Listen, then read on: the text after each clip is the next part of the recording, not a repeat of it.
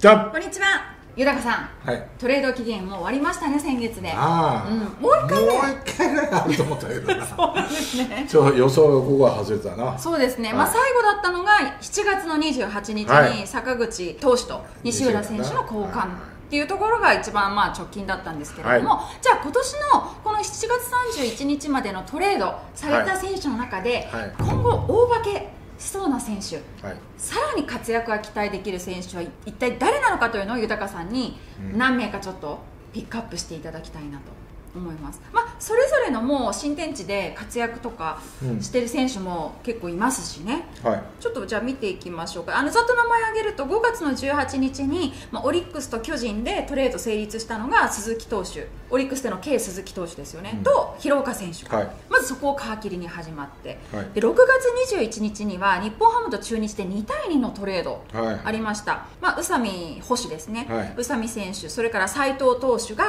が中日に、そして中日から日本ハムに行ったのが山本投手と郡司捕手とはい。いうところでした。で7月4日これ巨人とロッテでトレード成立、はい。えー石川慎吾選手が、えーロッテ。そして小沼投手が巨人に来ました、はい。で7月20日中日と西武でありました。高松選手が西武へ。そして川越選手が中日に、はい。で最後が d n a の坂口投手がヤクルトに。えーヤクルトの西浦選手が d n a にと。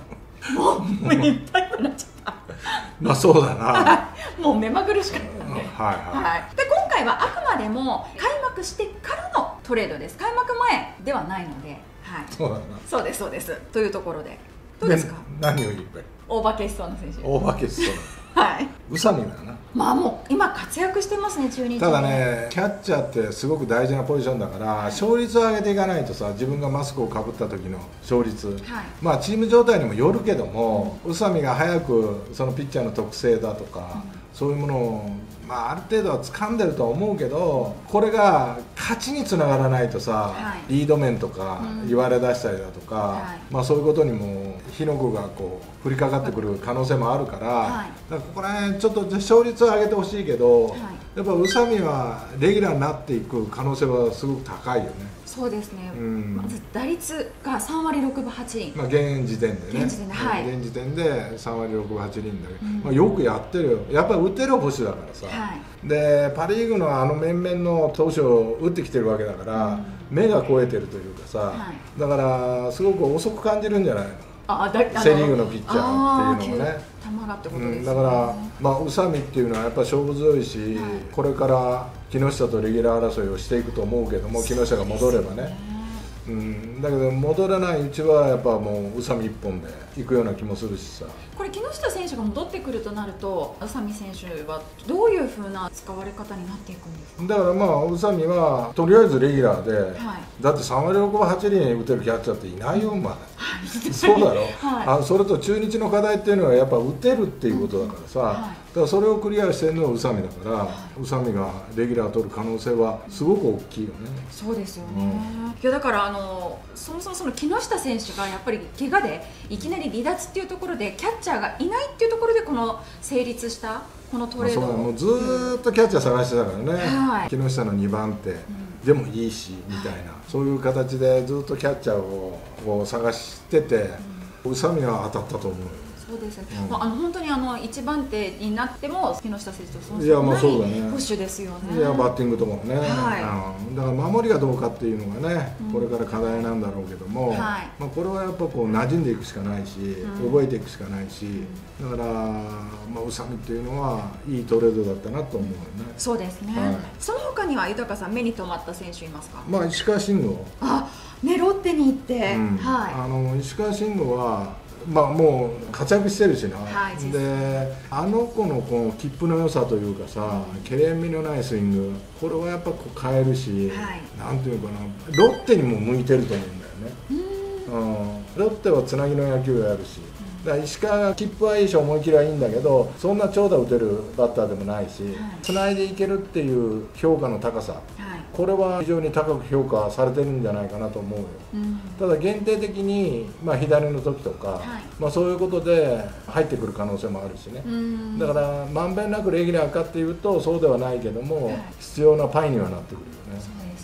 まああの4割3分2厘というところでいや勝負強いしなこの子はね、それと野球のもたけてるし、はい。やっぱ右に打った方がいいんじゃないかとか、ここはもう思い切っていっていいなとかはい。決めれる選手だよね、うん。うん。だからこう自分を殺すこともできるし思い切りいくこともできる。うん。非常にいい選手だなって思う。そうですよね、はい。石川選手にとってもやっぱりロッテに行ってよかったしロッテも石川選手を取ってよかったなって相思相愛のカップリまあそうだね。ングですよね。はい、ただその代わりに行った大沼はい。これはね今は出てこないかもわかんないけど、はい。これ将来的にはすごく巨人にとって大切なピースになると思えそれはどういうところからイメージ？うやっぱこう素材の良さと、はい。彼の持ってるなんていうのかな抑えとしての能力これが育ってくるのかなって思うとはい。非常に楽しみだ。よボールの質とか、はい。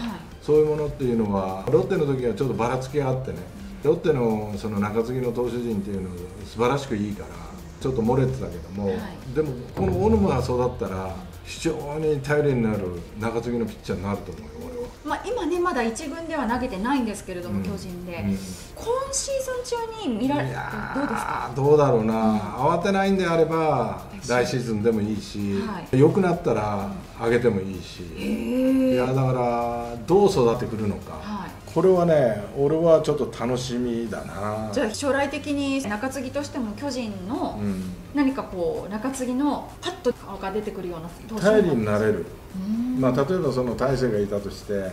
大勢の前に8回はい。完全に埋めるような選手になってくるかもわからない。しえーあじゃあ要注目ですね。要注目。小沼投手。小沼投手はちょっと覚えておいてほしいなと思うね、はい。はい。その他どうでしょう？あの中日に行ったあの西武から川越選手ももう出てますし、西武の時はさ、はい。西雲あせ そうそう。今も西武ですよね、いや違うこの前見たら勝手にしやがるね。パランパンパンパランパンパン。一打席ごとに変えてる変えてるかもわかんないけど。そうだ、うん。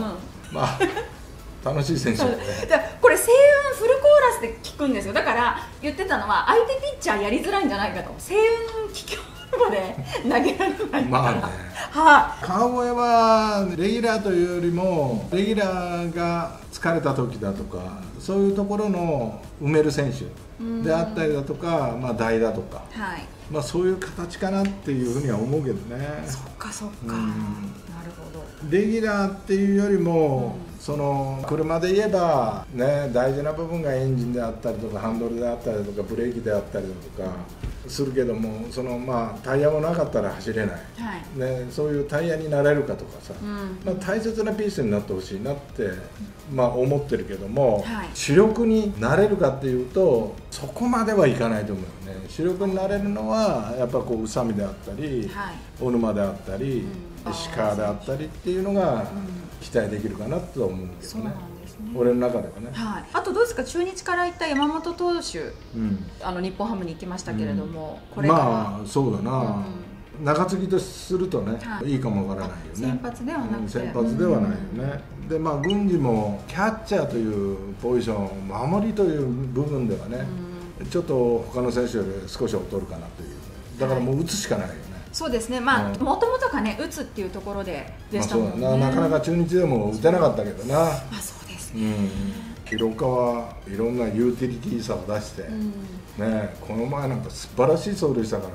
あね前前いや本当感動的なセカンドからの帰ってき方だよ、はい。うん、だからまあ能力があるだけにねこれから化けてはい。えレギュラーいつ取ったの？っていうようなことにもなりかねない選手だよねそうですね、うん。あとはミスを減らすとかそういうところですかね。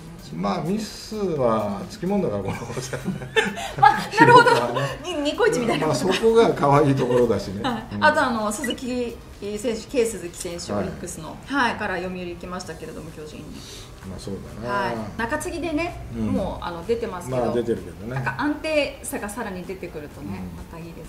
あとあの西浦選手 d n a に行きました。そうだな、ただ出るとしてもなかなかやっぱレベルが高いからね、d n a も、はい。だから守りという面で守れるんだったらチャンスは多くあると思あその守りっていうところですよね。そうんうだからまあ自分が出れるところに隙を見つけて入り込んでいかないとね。そうですね、はい。まあでもねこのトレードで本当に今新天地で自分の居場所を見つけられてる選手多くいるので、はい。まあ、その選手たちねあの頑張ってその座を守り抜いてほしいですし、まあ、最後の砦だと思ってね。その場所もう排水の陣と思ってはい。頑張ってほしいよね。はい